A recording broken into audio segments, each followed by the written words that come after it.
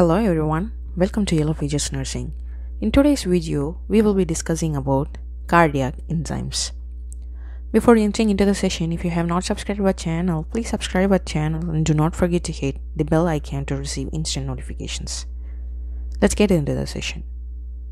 The learning objectives which we will be discussing in this session are what is cardiac markers or cardiac enzymes? What is cardiac marker test? What are the indications of cardiac marker test? What are the commonly used cardiac markers and the enzyme levels? Let's get into the session. What do we mean by cardiac enzymes? Cardiac enzymes are otherwise called cardiac markers or cardiac biomarkers. Cardiac enzymes are specific proteins or enzymes that are released into the bloodstream when there is damage or necrosis or injury to the cardiac muscle following a myocardial infarction and other conditions. The timing of the release can vary depending on the specific enzyme and the extent of the heart muscle damage. Next is cardiac marker test. So what happens is after heart muscle damage, certain enzymes are released into the bloodstream. In order to monitor the level of enzyme, cardiac marker test is used. Cardiac marker tests are blood tests which is used to measure specific proteins, hormones, or enzymes in the bloodstream that can indicate heart muscle damage or other cardiac related conditions. Now comes indications of cardiac marker test. First is chest pain. In patients with chest pain without a known cause, Cardiac marker tests will be done along with ECG and other investigations, mainly to determine whether heart muscle damage is present, confirming the cardiac causes. Next is diagnosis of acute coronary syndrome. Cardiac marker test helps to diagnose acute coronary syndrome, which includes conditions like myocardial infarction and unstable angina. These tests help confirming the presence of heart muscle damage and distinguish between the different types of cardiac events. Next is monitoring heart failure. These markers aid in assessing the severity of heart failure, monitoring the response to treatment, and predicting the outcomes. Next is post coronary intervention. After angioplasty or stenting, Cardiac marker test is done in order to identify any complications such as procedure related heart muscle damage. Next is treatment prognosis. Monitoring changes in cardiac marker levels help healthcare professionals assess the effectiveness of interventions and guide the ongoing management. Next is commonly used cardiac markers.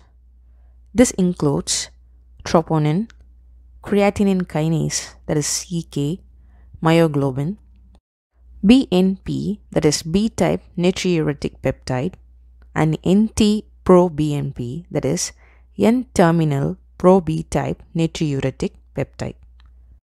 C reactive protein, that is CRP, lactate dehydrogenase LDH, and aspartate aminotransferase, that is AST. First, let's discuss about Troponin. Troponin is primarily found in cardiac muscle tissue and it is a complex of proteins involved in the regulation of muscle contraction in the heart.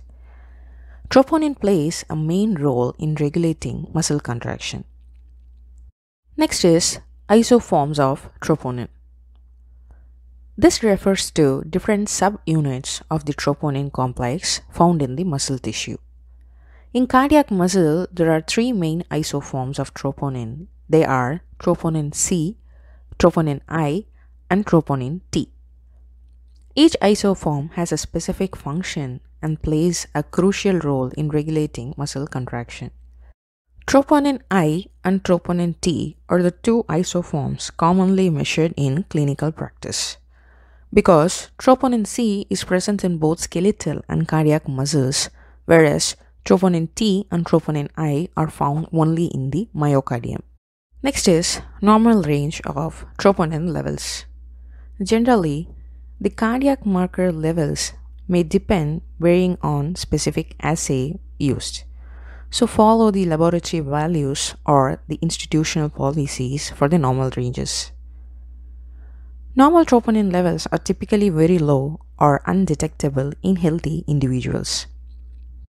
The normal range of troponin I is less than 0.04 nanogram per milliliter, and the normal range of troponin T is typically less than 0.01 nanogram per milliliter.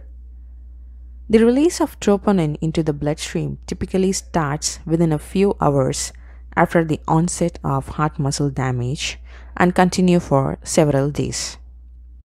Troponin level generally rise within 3 to 6 hours after myocardial damage. Troponin I peaks in 14 to 20 hours with a return to baseline in 5 to 7 days, whereas troponin T peaks in 12 to 24 hours with a return to baseline in 10 to 15 days.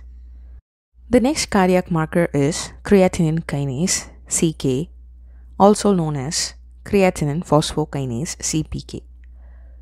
Creatine kinase is an enzyme found in various tissues including the heart, brain, skeletal muscles and other organs.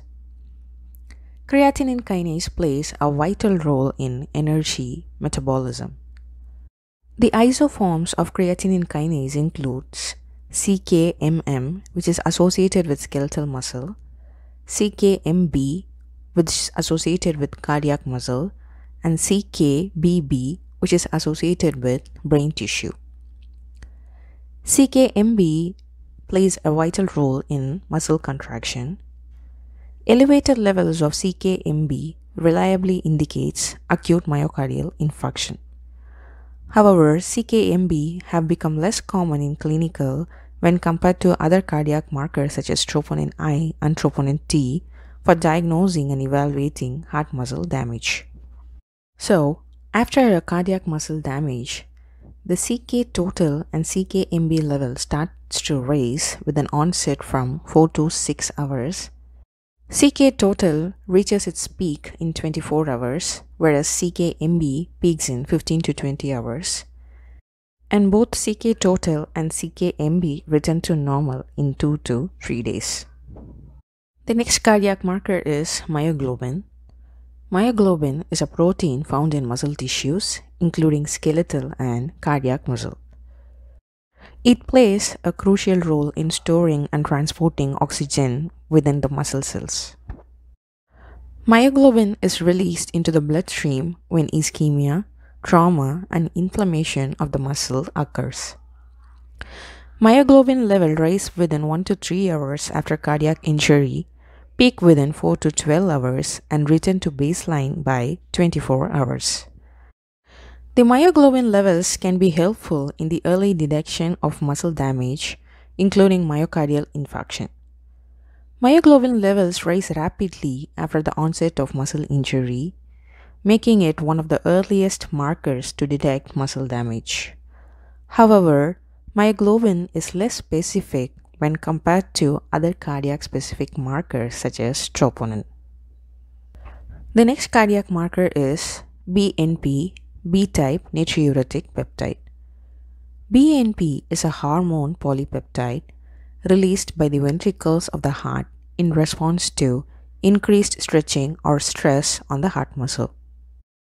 The main function of BNP is to help regulate blood pressure and fluid balance by promoting vasodilation and diuresis. Normal BNP level is less than 100 picograms per milliliter. A quick diagnosis of heart failure in patients who present with dyspnea is important in order to begin appropriate treatment early. When BNP level is greater than 100 picogram per milliliter, it is abnormal. The higher the number, the more likely heart failure is present and the more severe it is. An important point is Elevated levels of BNP is also seen in renal failure whether or not heart failure is present. Similar to BNP, higher N-terminal pro-BNP levels are generally indicative of more severe heart failure. The next cardiac marker is C-reactive protein. C-reactive protein is an inflammatory marker that may be elevated in individuals with a higher risk of cardiovascular disease. C-reactive protein is a protein made by the liver. CRP test is more suggestive for the risk of heart disease. This test is used to identify any infection, helping to diagnose a chronic inflammatory disease such as rheumatoid arthritis or lupus, and to identify the risk of heart disease. A high level of HSCRP in the blood has been linked to an increased risk of heart attacks. The next cardiac marker is lactate dehydrogenase. LDH is an enzyme present in various tissues including the heart, liver, kidneys, skeletal muscles, and red blood cells. The main function of lactate dehydrogenase is energy production by converting lactate to pyruvate. Normal levels of LDH in the blood can vary depending on the lab, but usually it ranges between 140 units per liter to 280 units per liter for adults. LDH is measured through a blood test to evaluate tissue damage or disease. Elevated LDH levels can indicate cellular damage or injury, such as in cases of myocardial infarction, liver disease, muscle injury, or certain cancers. The next cardiac marker is aspartate aminotransferase, that is AST. AST, also called SGOT, is an enzyme found in the liver, heart, skeletal muscles, and other tissues. And this is one of the common liver function tests. The main function of aspartate aminotransferase is amino acid metabolism. The indications for AST test involves measuring the levels of this enzyme in the blood, which is mainly indicated in liver function assessment, heart muscle damage, skeletal muscle injury. Normal level of AST is between 10 to 40 international units per liter in adults. Elevated levels is seen in conditions involving heart muscle damage such as myocardial infarction, liver disease, and skeletal muscle injury.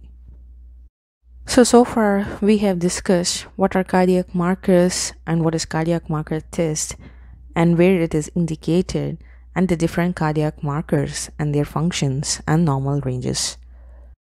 And remember, as explained before, cardiac enzyme levels may vary from place to place according to the laboratory tests and hence follow the institutional policies. So here you go with cardiac enzymes.